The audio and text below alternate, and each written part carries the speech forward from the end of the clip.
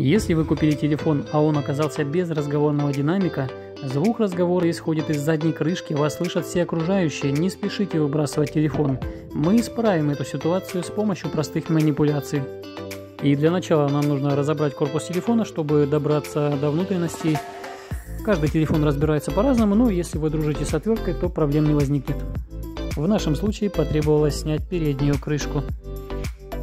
А вот и сам динамик выглядывает сверху дисплея, на нем проделаны небольшие отверстия, через которые, конечно же, ничего не слышно, но, видимо, производитель думал иначе. Наша первичная задача перевернуть динамик рабочей стороной к разговорному отверстию. Дисплей откинулся легко, он держится на шлейфе. Аккуратненько отковыриваем и отклеиваем все, что нам мешает, но постарайтесь ничего не сломать и не оторвать. Отклеиваем экран и достаем динамик из углубления.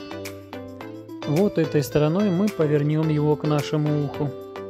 Оказалось, что провода мешают вставить динамик до конца, поэтому пришлось немного покромсать корпус телефона и удалить стенку, в которую упирались провода. Один из проводов отвалился, и мне пришлось снять плату и припаять его, так что будьте осторожны.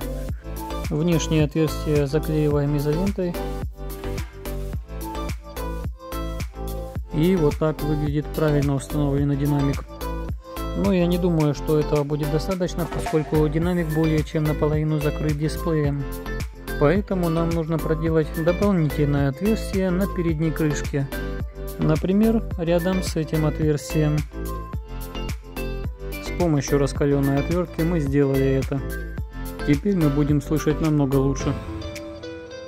И напоследок мы заклеим отверстие в задней крышке, чтобы наш разговор не слышали окружающие. Будем использовать клеевой пистолет.